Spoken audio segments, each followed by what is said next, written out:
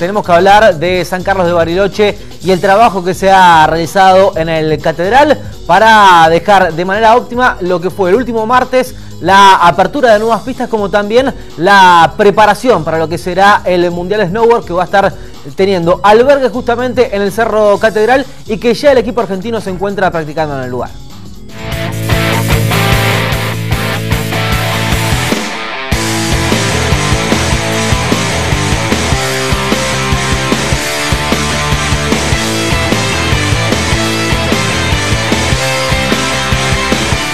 Primera vez para nosotros que vamos a competir de local. Si bien Argentina ya tuvo Copa del Mundo de Snowboard, nosotros fue en el 2008 y éramos más jóvenes o sin experiencia, no había equipo y este año ya llegamos con como protagonistas por ahí de, la carrera. Los chicos están con sus preparadores físicos, eh, respectivamente porque algunos están estudiando en Buenos Aires, nos juntamos ya con Steven y con los chicos el primero de julio ya empezamos a entrenar.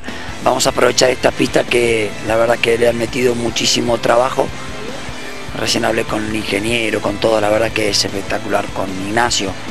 Eh, y bueno, después eh, vamos para Chile que tenemos casi todas las competencias en Chile. Tenemos varias competencias previas en agosto, eh, campo de entrenamiento en Chile para llegar acá los primeros días de septiembre a ver la pista y hacer las pruebas y ya empezar a competir. Vamos a llegar acá el 4 o 5 de septiembre, 5.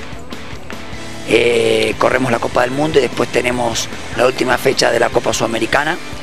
Y para cerrar eh, la segunda edición de los Juegos este, Argentinos de Invierno. Con todo el envión de la Copa del Mundo va a ser espectacular.